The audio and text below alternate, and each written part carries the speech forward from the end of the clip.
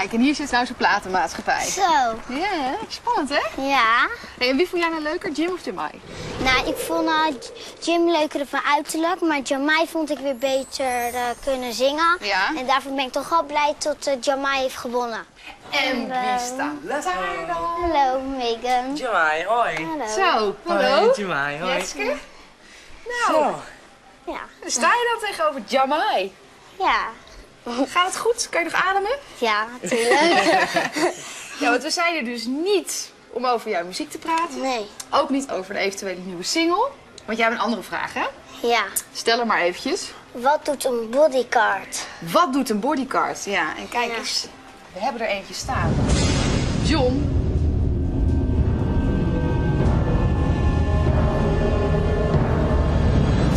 Als er iemand op dit moment in Nederland een bodyguard nodig heeft, dan ben jij het wel natuurlijk. Ja, normaal over straat, het gaat niet meer. En welke situaties eh, heb jij een bodyguard bij je? Eh, waar veel menigte is, of waar ze veel menigte verwachten. Dus waar heel veel mensen zijn. Ben je wel eens bedreigd? Ik heb me wel eens een keertje bedreigd gevoeld en dat was op de Dam.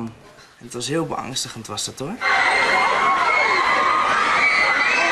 Toen waren er zoveel mensen. Toen werd ik opgetild door de bodyguards. En dan werd ik zo, hup, de auto ingesmeten. Maar is dat nou niet vervelend, al die handtekeningen uitdelen? Het blijft leuk. Nou, wij gaan straks ook een handtekening aan jou vragen. Hè, want die wil je natuurlijk wel hebben. Ja. Maar we gaan nu toch echt verder met John. Hè? Ja. Kun je vertellen wie je allemaal hebt beveiligd? Jazeker. Eh wie heb ik allemaal beveiligd? Britney Spears. Echt waar? Ja, echt waar. Jennifer Lopez. Ricky Martin. Westlife. En natuurlijk iedereen van Idols. Spannend om een bodyguard te zijn? Spannend. Eigenlijk niet. Eigenlijk moeten wij alleen maar wachten. Wachten tot onze VIP gaat eten. Of eh, naar de bioscoop gaan. Of naar een vergadering. Dan moeten wij alleen maar wachten. Net zolang dat hij weer terugkomt. Maar dat kunnen wij toch ook dan? Ja, ja, ja. Maar zo makkelijk is het niet. Dan komt nog het een en ander bekijken. Weet je wat? Als jullie nou iemand uit gaan zoeken hier in de straat. Ja. Ja? Dan ga je aan die mensen vragen of ik ze vijf minuten mag beveiligen. Laat ik jullie een klein beetje weten. Goedemorgen. Wij zijn van Willem Wever en mijn vraag gaat over bodyguard. Dus we hebben u gewoon even nodig als proefpersoon. Heel belangrijk is dat je niet opvalt. Je moet er niet zo bij gaan lopen, maar een beetje op de achtergrond, ongeveer drie meter afstand, zodat je kunt zien wat er om je heen gebeurt. Maar waarvoor dan een meter of drie en niet ernaast? Als je op deze afstand blijft lopen en er wil iemand vanaf daar de VIP aanvallen, dan heb je tijd genoeg om erbij te komen. En waar let je dan allemaal op? Ja, je let eigenlijk op de mensen die er omheen lopen. Ja. Bepaalde situaties, zijn bepaalde mensen die zich toch vreemd gedragen. Of hij kijkt boos, of eh, hij voelt in zijn zak, of hij is een beetje zenuwachtig. En daar let je op. Dan hou je dat een beetje in de gaten. Maar ook de achterkant natuurlijk, hè? Want dat is natuurlijk ook allemaal dingen. Nou, als je achterom gaat kijken, dan staat ze slot. Daar gebruiken we ook bepaalde foefjes voor. Dan kijk ik ook heel vaak in de ruiten van de winkels. Dan zie je ook wat achter je. Oké. Zullen we eens even vragen hoe zij het vindt tot nu toe? Ja. Ik ben wel bang dat hij me niet bijhoudt. Dus het is nog een beetje geforceerd. Zelfs ook, ik denk van, zou hij het zo leuk vinden om een lingeriezaak in te gaan?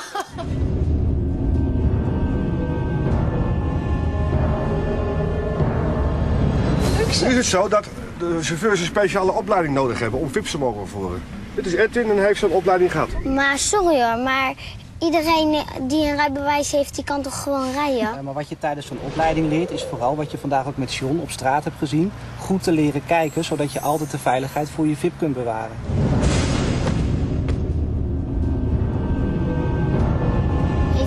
Je wel eens achtervolgd? Ja, laatst nog had ik M&M in de auto. En toen reden na afloop van het concert reden er een fan achter ons aan. Oké. En wat, wat doe je dan? Nou, je moet natuurlijk wel eerst zeker weten dat je achtervolgd wordt. Zoals nu bijvoorbeeld dat we op de snelweg rijden, eh, kan je heel even je snelheid eruit halen en kijken of die ander dat ook doet. Maar je kan ook heel even versnellen. Eh, je zou bijvoorbeeld heel even een afrit kunnen pakken en er gelijk weer op gaan. En in de bebouwde kom zou je bijvoorbeeld eh, een rotonde helemaal kunnen nemen en weer verder rijden. Nou, iemand die jou niet achtervolgt, zou wel heel erg toevallig zijn als die dat ook doet. Ga je dan nooit eens keihard scheuren om dan iemand kwijt te raken? Alleen als het niet anders kan, maar normaal gesproken niet. Omdat je ten alle tijde voor de veiligheid van je VIP moet zorgen. En als je dan hard gaat rijden, ja, dan kan het wel eens gevaarlijk worden. Ben je wel eens bang als je achtervolgd wordt? Eh, nee, want als het echt gevaarlijk wordt, dan bel ik gewoon de politie.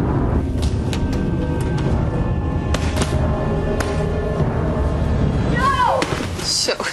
Ging er even heftig aan toe. Ja. Moet je ook wel eens klappen uitdelen? Nee, nee, wij mogen dat niet, hè? Nee? We hebben er andere trucjes voor, zeg maar.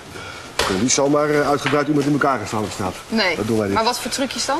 Nou, dat is bijvoorbeeld polstechnieken. Kijk, ik zit wel te zeggen polspak. Ah! Ja, ik doe niks. Ik, ik zet geen kracht, ik ben ontspannen. Nee, maar je voelt wel, je bent wel Je voelt het wel, uitgeschakeld. ja, je wel pijn. Ik hoef je te slaan of te schoppen, zo schakelt iemand uit.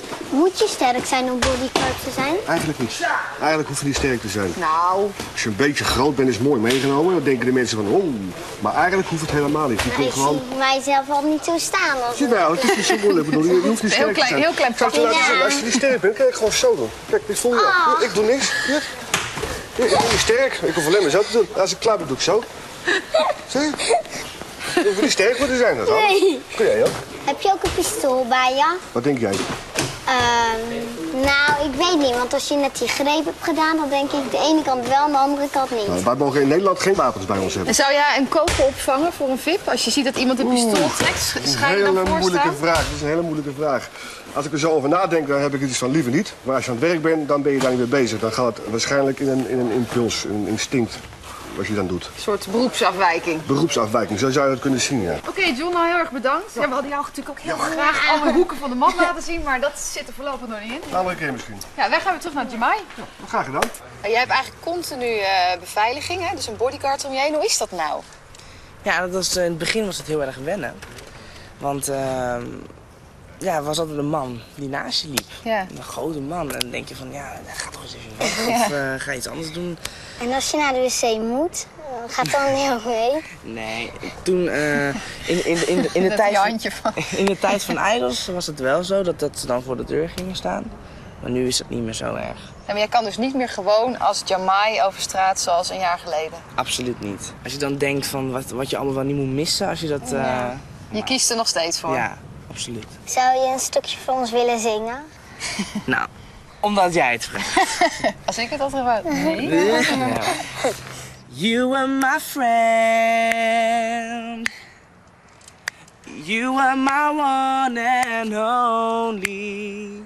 And tell me now, hold you like I do? Hij luistert natuurlijk nog I even know verder. it's Maar true. helaas is het filmpje afgelopen. Soon you would too. Baby, we still belong together.